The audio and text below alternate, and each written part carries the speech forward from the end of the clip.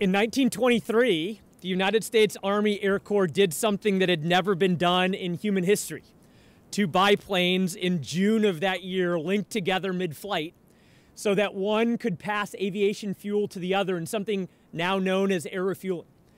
And they did so on that day for a very particular reason because their mission was to break records range records, allowing a plane to fly further than one ever had, and endurance records, allowing a plane to fly longer than one ever had. And indeed, they broke records on that day, and it proved a very important point that in order to best achieve your mission, you need to stay connected to the source of your power. I'm going to admit something that a self respecting F 22 pilot normally would never admit that without those big, slow, lumbering air refueling aircraft, then even the world's most capable aircraft, the F 22, couldn't achieve its mission because it didn't have the range and it wouldn't have the endurance. Because in order to best achieve your mission, you need to stay connected to the source of your power. The Bible in John 15, verse 5, Jesus says this I am the vine, ye are the branches. He that abideth in me, and I in him, the same bringeth forth much fruit. For without me, you can do nothing. The dichotomy is powerful there. If you stay connected to the source of your power, Jesus, then you can bear much fruit, which means you can do things that last and have meaning and have purpose. But if you do not, then the Bible doesn't just say you can only do a little. The Bible says that you can do nothing. Nothing of significance, nothing of substance, nothing of true meaning or purpose. Because in order to achieve our mission in 2023 as Christians in the United States of America on Veterans Day, we need to stay connected to the source of our power. Let's pray. Lord God, I do thank you so much for this message. I ask that you would bless the message to follow. Bless us this evening, Lord. We thank you so much for this great opportunity. And we thank you for a very special Veterans Day service on a prayer meeting that has been going on for seven and a half years straight as we pray for our nation and our leaders in revival. Please bless tonight. It's in Jesus' name we pray. Amen. Point number one is about the self sufficiency trap, or the challenges we face as Americans in 2023, especially sometimes as veterans, where we know how to pull ourselves up by our bootstraps, that no matter what is going on in our lives, we believe that we've got it, that we can handle it. But the truth of the matter is that we need to ultimately realize that we are so needful of humbly relying upon the Lord. God says in James 4 6, But he giveth more grace, wherefore he saith, God resisteth the proud, but giveth grace unto the humble. Proverbs 16, 18. Pride goeth before destruction and a haughty spirit before a fall. Sometimes we fail to recognize that we get into desperate situations in our lives because we didn't start praying and now we feel compelled to pray only because of the situation that we've gotten ourselves into because we failed to pray. And God gives us some antidotes to those challenges of pride in our lives. 1 Corinthians 4 7. Who maketh thee to differ from another? And what hast thou that thou didst not receive? Now, if thou hast received it, why does thou glory as if thou hast not received it? Everything you have, everything I have, comes from God. That is the raw material and the opportunities and the experiences and the relationships that allow us to use the raw material. Everything is from God. 2 Corinthians 3 5. Not that we are sufficient of ourselves to think anything as of ourselves, but our sufficiency is of God. And in order to achieve our mission, to best achieve our mission, we need to depend on Him through humility. Point number two we need to rely on him through prayerful humility. On June 5th, 1944, General Dwight D. Eisenhower made the decision that the next morning would be D Day, the invasion of mainland Europe by Allied forces to ultimately end World War II in the European theater. And he made that decision, and he did two very interesting things. First, he wrote a letter that ultimately claimed full blame for a failed invasion in case it failed, a step of humility. But then he did something that was recorded in his journal that we must remember vividly today.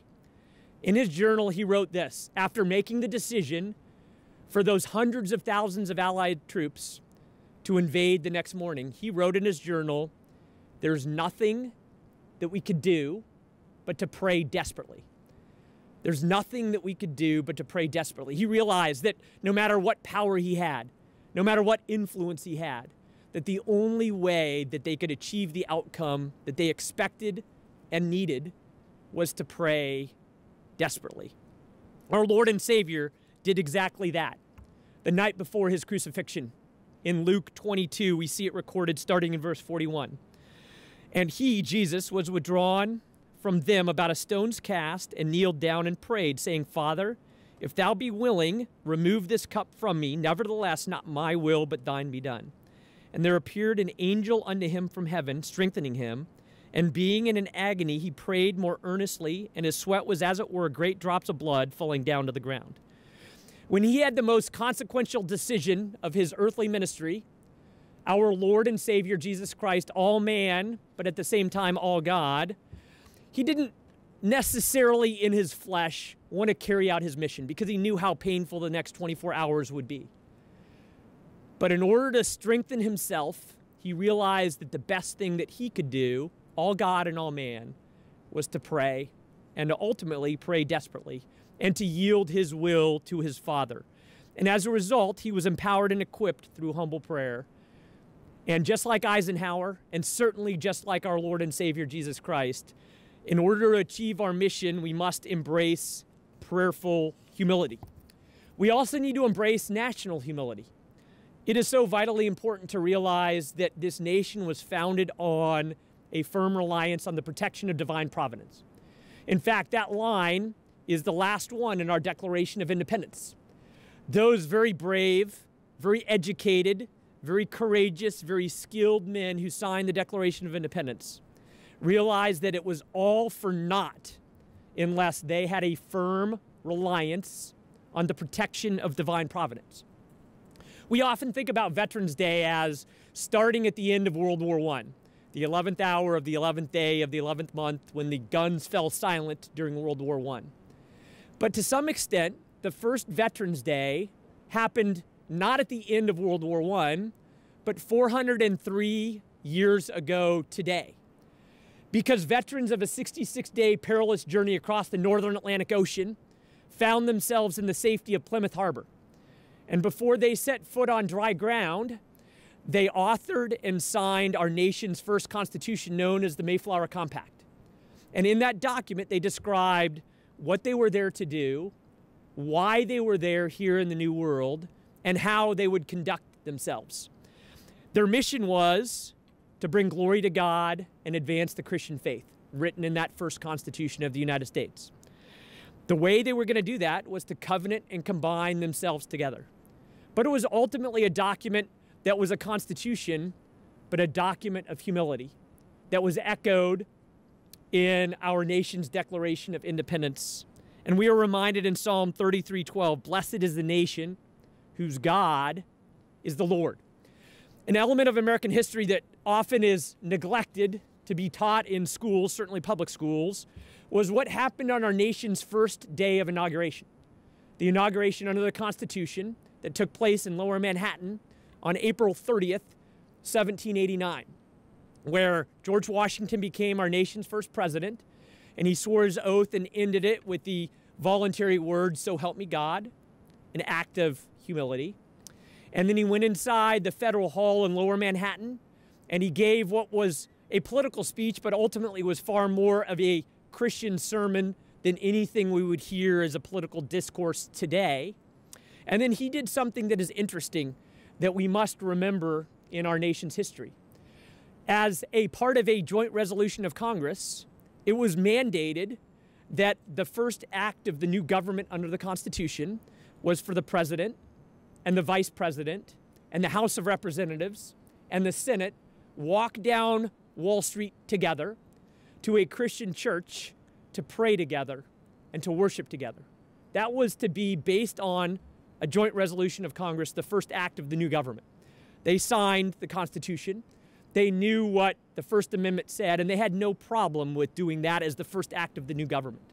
And that was a sign ultimately of appreciation for what God had done to birth this nation.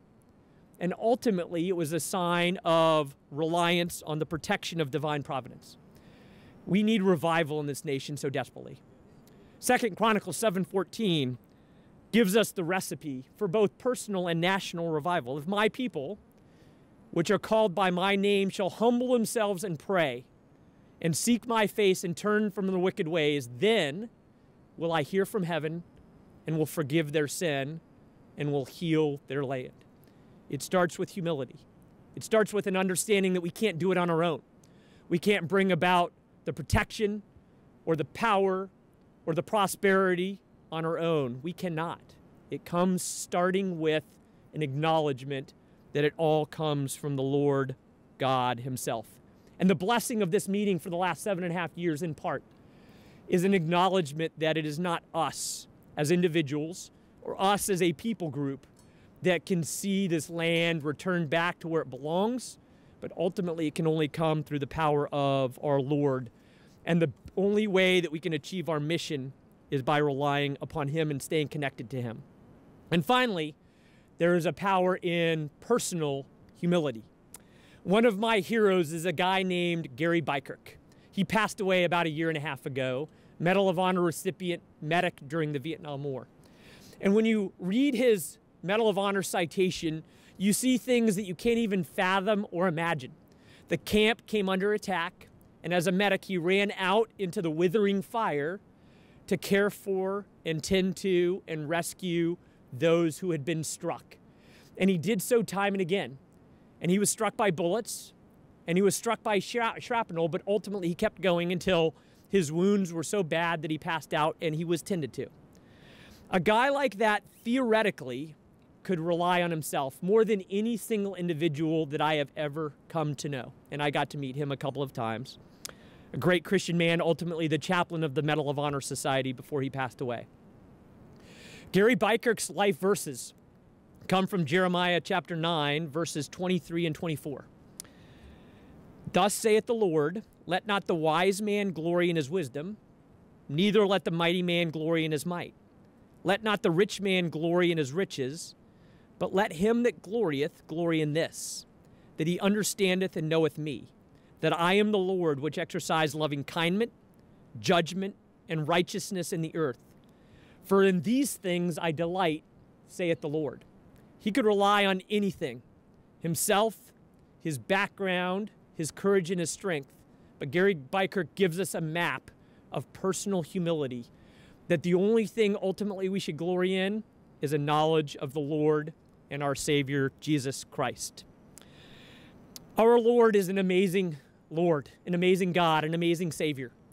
And I am so mindful of the fact that he was so countercultural in how he demonstrated that personal humility that it is important for us to grasp the truths that he provided to us. One of my favorite leadership books is B.P. McCoy's The Passion of Command, a colonel in the United States Marine Corps. By the way, happy birthday yesterday to the Marines among us. I figured you'd say that because you always do. And this individual, McCoy, was a battalion commander in the heaviest fighting of Iraqi freedom. And he had a large number of men under his command, and he wrote this great book. And on the inside cover is a warning label. Only a Marine would have a warning label on the inside cover of his book, and McCoy does. And this is what it says Without genuine concern, this is all worthless. Without genuine concern, this is all worthless. And what he means by that is that his book will be worthless to you. Go ahead and stop reading. If you don't have genuine concern for the people of the mission, his book will be worthless to you. But he also means you will be a worthless leader if you don't have genuine care and concern for your people and the mission. Fortunately, our Lord and Savior had genuine care and concern for us. For God so loved the world that he gave his only begotten Son, that whosoever believeth in him should not perish but have everlasting life. What is it, what is it about this counterculturalism that is so striking? Jesus says this when inquired about leadership in Matthew 20, verse 26 and 28. But it shall not be so among you. But whosoever will be great among you, let him be your minister. And whosoever will be chief among you, let him be your servant. Even as the Son of Man came not to be ministered unto, but to minister and to give his life a ransom for many. Personal humility, leadership that is countercultural, that has genuine care and concern for you and me. And in order for us to achieve our mission, we need to stay connected to the source of our power. Back to the verses of the day John 15, verse 5 I am the vine, Jesus says, you are the branches. He that abideth in me, and I in him, the same bringeth forth much fruit. For without me you can do nothing. If we do not stay connected to the source of our power, then we will never break endurance records, we will never break range records, and we will never be able to do what God has called us to do. In order to achieve our mission, we must stay connected to the source of our power. Let's pray. Lord God, I do thank you so much for the Supreme Prayer Meeting. I thank you so much that on February of 2016, on the day that Justice Scalia died, that this church and a few individuals met here to pray for our country and our leaders. And this has been a weekly meeting ever since. I thank you for the humility that is demonstrated by that act, by this ministry. I thank you that the fact that that ministry was birthed is an indication of the truth that in order to achieve our mission, we must stay connected to the source of our power. Lord, we beg you for revival. We beg you for personal revival. We beg you for church wide revival. And we beg you for national re- revival, Lord. And we ask and pray that as we consider this magnificent location at the steps of the Supreme Court, across the street from the U.S. Capitol, and down the road from the White House, that the leaders that occupy these buildings make such consequential decisions, but they need you desperately. We need you desperately. And I ask and pray, Lord, that you please would bring revival to our land. Help us, Lord, to remember the truths of our founding that relied upon you for the birth of this nation and for the growth of this nation.